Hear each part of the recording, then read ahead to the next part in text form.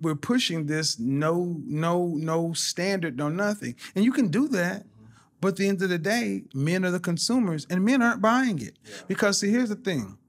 You can be an average acute looking woman and and years ago you could have got a man a husband a but now when you are trying to put on someone else's hair uh put on some even if you don't do that but just the the weight is doing a lot man i can't say in the black community the weight is doing a lot because i have women who are calling in who don't even realize that it's an issue i had a woman call in the other day and i said ma'am at your height and your weight I mean, no offense, ma'am, but you're the size of a middle linebacker. And she said, No, I'm not. I'm like, and I went and pulled up Lawrence Taylor, NFL great. I'm like, and I was like, he's four inches taller than you. She was shocked. So, um, how do we get this back on track?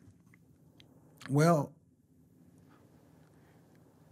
when four out of five of our sisters are overweight and no one can tell you nothing, I don't know who can get through to them. Um, it's going. We have to start having women be honest with each other, because when you're raised in our in our culture, mom leaves the house, so they may hear it from me, but until women start actually having, uh, let's just use it, thoughtful, respectful conversations about, hey, we need to probably do this for our own health, for men or whatever, because men don't care why you do it. We just want it there. Uh, because here's the thing men can't turn off off and on their produ- their provider. If a man falls on hard times, stop perform uh, producing, we can judge him. And if if a man's not masculine, we can judge him. Well, we got to have that standard back up for men and women.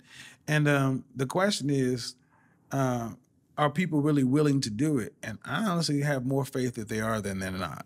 That's a great point. And I think one of the challenges is with this hookup generation. The problem is a lot of women confuse um, sexual attention mm-hmm. from long-term retention, right? Yep. They they confuse that because somebody's willing to have sex with you. That doesn't necessarily mean that same person will marry you, and that's a lot of times the case. Mm-hmm. So, from your personal experience, if you're advising a young woman who wants to be married, what are some of the things that men are looking for in a woman if they're desiring long-term marriage and relationship?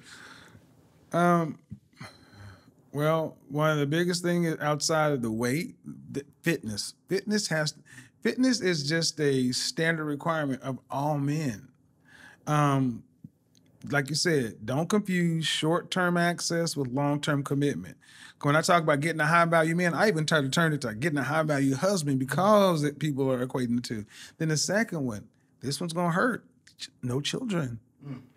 Uh, 51% of black men are single and childless. 64% of them are in the middle class. We've been told that, you know, all these all these other things, but if a man doesn't have children, he doesn't want to necessarily raise another man's children. I say, ladies, understand. Women tell men what you think they deserve by your looks and your weight. So what are you telling men they think what you think they deserve? So looks, the lack of children, and then here's the other thing. They talk we talk about femininity, beauty, inspiration, all that. Really, it's cooperation. Men just want you to be cooperative. Can you work with me? Work with me. And that's what more than more than anything else. Now, I say women are great if they're feminine, beautiful, and inspirational.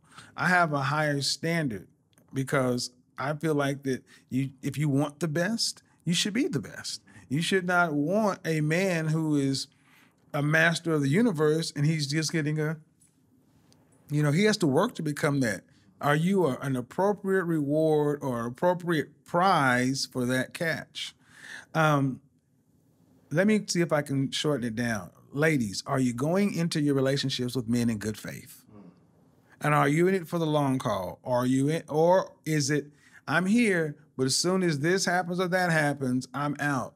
If you're going, we have too many people who are not entering into it with good faith because for whatever reason. That's why I recommend therapy so much. Mm-hmm. One of the things I recommend is therapy is because we come from a culture that has been fractured and never had a chance to heal. Mm-hmm. But the world doesn't owe us understanding. You didn't have your daddy, I didn't have my daddy, whatever, whatever. Okay, so what? You're a grown person. You know you got issues. Go get some co- some therapy, because at the end of the day, you're trying to work with, get somebody to work with you, and you need to know at least have that clean bill of mental health. And it's don't wait until a crisis. And even if you think you're okay, just go get a tune up. Just go see. Mm. And I think that would do us more benefit. And then the other side, for ladies, so many men will say, ladies, your only interaction with men tends to be in a short term hookup kind of thing. You got to become far more curious about men. You don't even understand who men are, what men want. You, I, what, what you think they want is just in the bedroom, and there's far more to it because there are men who are willing to accept a, a lot different things from a woman. At the end of the day, between any man and any woman, there's always going to be a unique relationship. But they both got to feel like they're getting something out of it to want to stay in it for the long term. No, I, I, really I really love that point, and similar to what we talked about with the men, and and uh, my friend Stefan, he he does a really good job of really breaking the Bossier, huh? Yeah, yeah, mm-hmm. he does a really great job because I think sometimes with the women you have to use a male example for a woman to get the woman example, right? So if there's a guy who's broke at his mom's house, mm-hmm. and he's like, "Why? Where are the good women at?" Mm-hmm. Most women will be clear as day and be like, "Well, right. get a job, get off your feet, get your own place, and then try now." Right. So to me, it's uncomfortable. We have to be honest. The, the financial stability equivalent to most men, to me, would be the the weight. Mm-hmm. That weight for a lot of women, if they would get and and, the, and I think the my number one message is, is about your best Yes. Weight. It's not about being a size zero, it's not mm-hmm. being a, a runway model. It's what's the healthiest, best weight for you because even if you really watch your content, mm. you're you tell some women that look, you're you're working out, so you can um, hold 160 a little mm-hmm. bit better. So sometimes it's not even about the numbers; it's about you being in your best shape. Right. And so I feel as though what needs to happen is that both men and women have to be honest about what the other party's asking from us, and not so much get mad at people for telling us the truth. And here's the thing we should have declared a national emergency in the black community on, on eight, two decades ago.